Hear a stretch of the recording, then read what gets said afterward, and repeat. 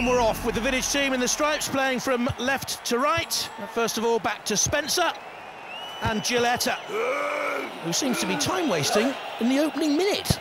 Dreaming. Passing across the back four here. That's good. It's like Arsenal of old, isn't it, Jonathan? Pass it oh. to me! Father! Push forward! Cross the Show ball! us your cross, father! Come on! Here we go.